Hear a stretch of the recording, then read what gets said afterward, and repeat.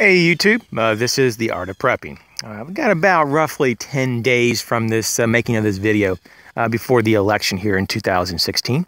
Uh, the presidential election is a, is a really tight, uh, controversial race. at least for a lot of people believe that it's going to be kind of a, a throw up in terms of who's going to win.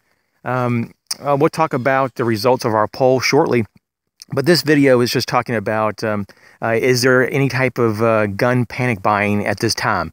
Um, once again, the last video that was, I think, last week, um, I was just starting to see the beginnings of it. Uh, right now, in some areas, there's more buying than others, but there's definitely an uptick, but it's not uh, so dramatic that's going to make like national news or anything.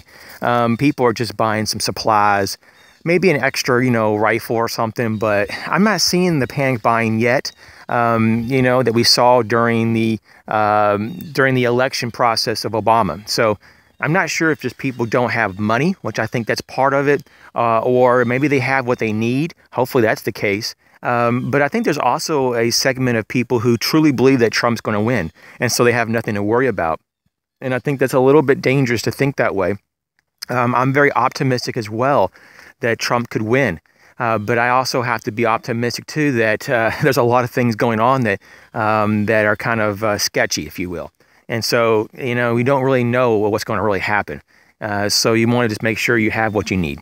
And so uh, this is all the video is going to be about today. It's just I don't see dramatic panic buying. If so, then people are covering it up quite a bit. But um, I'm actually seeing some of the, the local gun shops actually have gun sales.